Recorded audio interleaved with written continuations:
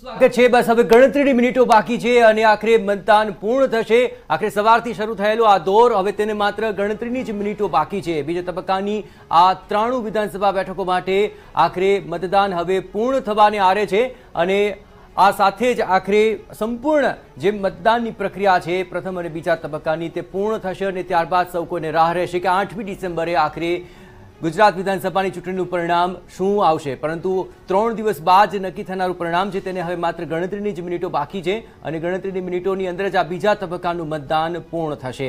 અત્યારે સરેરાશ જે આંકડાઓ સામે આવી રહ્યા છે તે પ્રમાણે પ્રથમ તબક્કાના મતદાન કરતાં આખરે બીજા તબક્કાની અંદર મતદાન થોડું વધે તેવા આસાર જણાઈ રહ્યા છે. પણ હવે ગણતરીની મિનિટોની અંદર જ આખરે આ મતદાન પૂર્ણ થશે. દ્વિતીય તબક્કા માટે આજે આ મતદાન હતું અને ત્રાણું બેઠકો ઉપર આખરે મતદાન કરવા માટે મતદાતાઓ નીકળ્યા હતા. અને હવે ગણતરીની જ મિનિટો બાકી છે અને સાથે બીજા તબક્કાનું મતદાન હવે પૂર્ણ થવાને આરે છે અને બીજા તબક્કાની ત્રાણું બેઠકો ઉપર મતદાન પૂર્ણ થવાને આરે છે. આપણે જણાવીએ કે હજુ કતારોમાં હશે તેવા મતદારોને મતદાન કરવા દેવાશે.